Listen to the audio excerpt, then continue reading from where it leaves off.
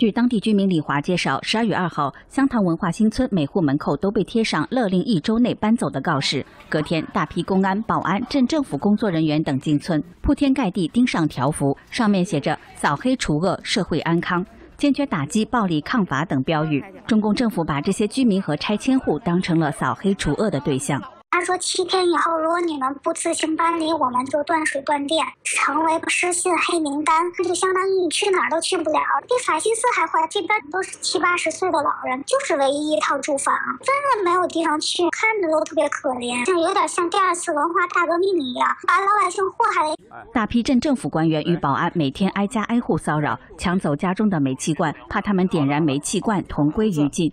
之前很多业主联名签署遗嘱，表示与房屋共存亡。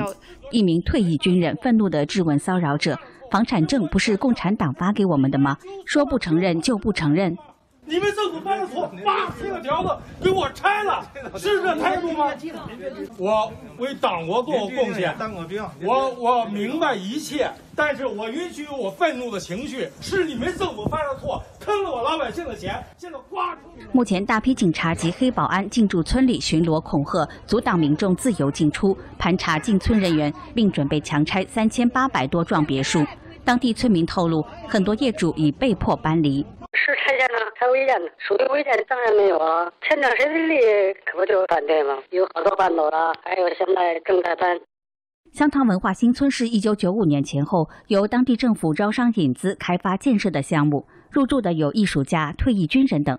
近日维权的业主都被警方带走，其中一名郭女士是著名诗人郭小川之女。新唐人记者熊斌、洛亚、黄宇宁采访报道。